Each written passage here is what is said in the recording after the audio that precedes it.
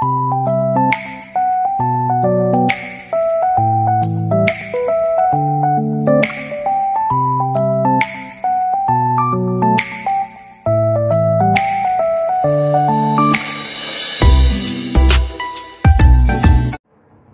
ayan na siya. In fairness, mabango siya.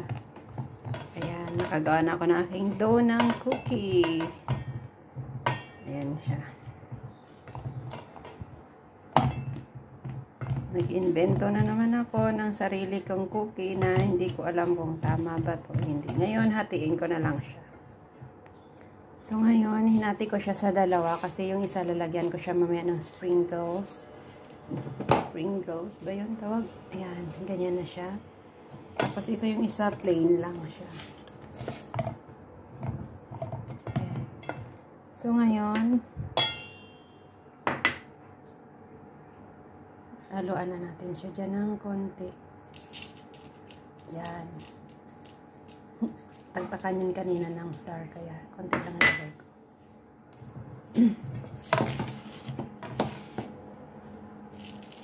Ayan. Halo lang natin siya.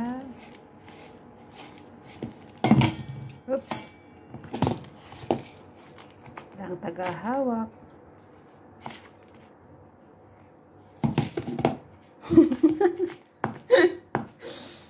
Yan. Mamaya kamayin na lang kita eh. Ayun. Na, yung aking cookies. Tigdagan ko siya. May flour na kasi yun na kanina kasi ano, natalsikan siya.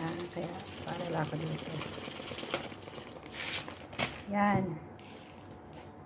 Sana maganda mamaya yung outcome nito.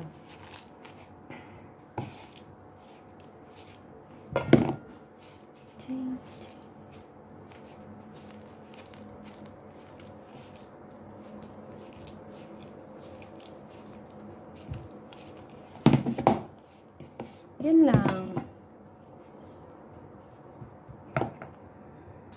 So, ayan na nga. Kamayin ko na lang siya. Kasi gagawa, gagawa ko ng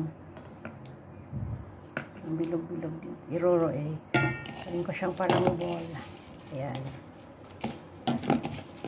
Ito na yung dough ng aking cookies.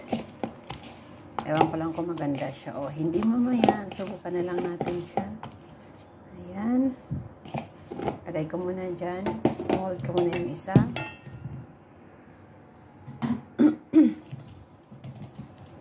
Ayan siya. Nakakaiba to ngayon yung cookies ko. First time kong ginawa to.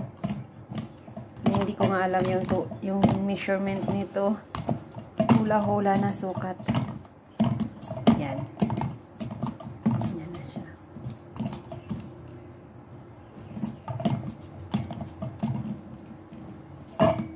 So ngayon, susubukan natin siyang gawing parang maliliit na dito siya.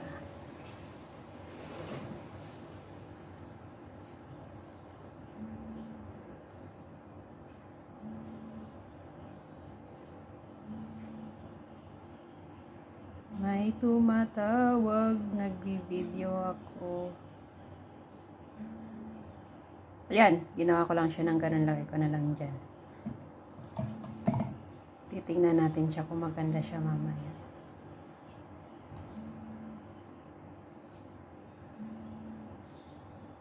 Yan. Hindi pa nga maganda yung shape kasi isang kamay lang yung ginagawa ko kasi nagvi-video ako. Ayan.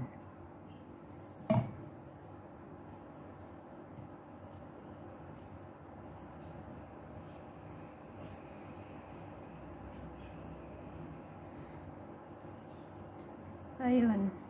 So, yung isa naman, maganda siya at hindi siya sobrang ano. Yung ito naman yung may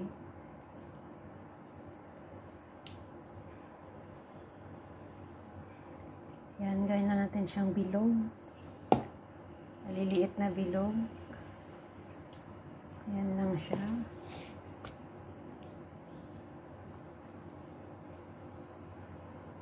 Yan.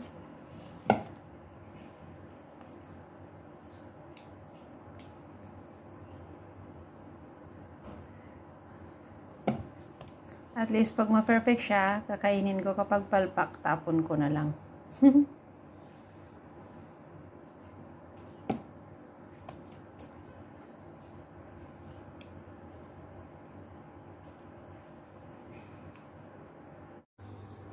Ayan na, tapos na ako. Tapos na yung aking biscuit cookies siya. Ito na siya yung kalabasan niya. Ito yung hinaluan ko kanina ng mga rainbow sprinkles. Sprinkles. Ayan. Ayan. Tapos na yung aking biscuit cookies. Na-overbake ko ata siya, kaya nag-crack-crack siya. Kaya, ayun. Tapos na. Sarap to kapag may kape tuwing umaga. Ayan.